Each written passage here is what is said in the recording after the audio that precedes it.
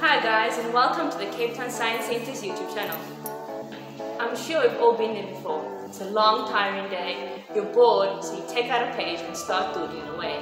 But have you ever wondered how we could bring them to life? If so, then you've come to the right place. My name is Zora and I will be teaching you about the wonderful world of water art. First, you will need water, a smooth, non-porous surface like a plate, a whiteboard marker, Step 1. Draw any picture of your liking on the plate. Step 2. Give the ink time to dry. This shouldn't take too long. Step 3. Gently pour water around the drawing. Step 4.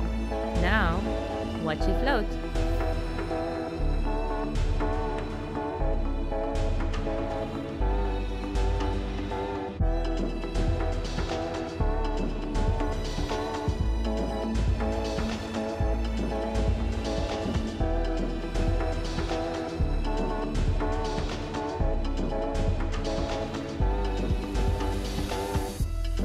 The reason why this is happening is because the main ingredients in whiteboard markers are alcohol and polymers.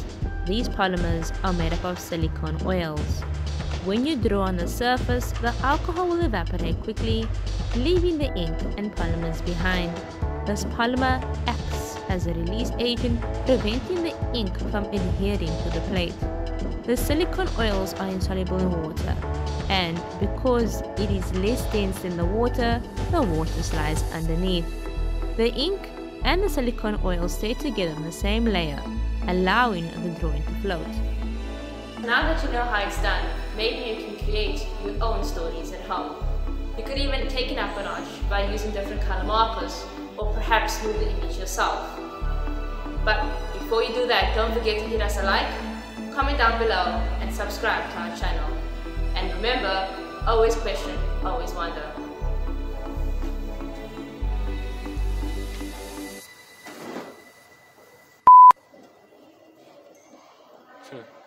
Estão assim.